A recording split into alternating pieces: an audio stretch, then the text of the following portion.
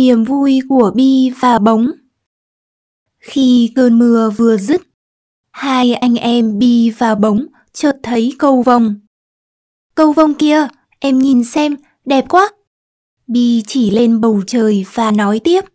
Anh nghe nói dưới chân cầu vồng có bảy hũ vàng đấy. Bóng hưởng ứng.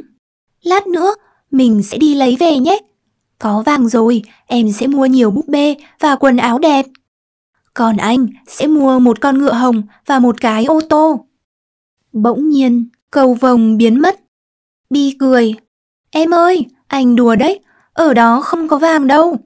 Bóng vui vẻ. Thế à, nếu vậy, em sẽ lấy bút màu để vẽ tặng anh ngựa hồng và ô tô. Còn anh sẽ vẽ tặng em nhiều búp bê và quần áo đủ các màu sắc.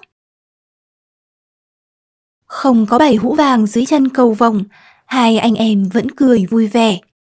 Niềm vui của Bi và Bóng Khi cơn mưa vừa dứt, hai anh em Bi và Bóng chợt thấy cầu vồng. Cầu vồng kia, em nhìn xem, đẹp quá. Bi chỉ lên bầu trời và nói tiếp.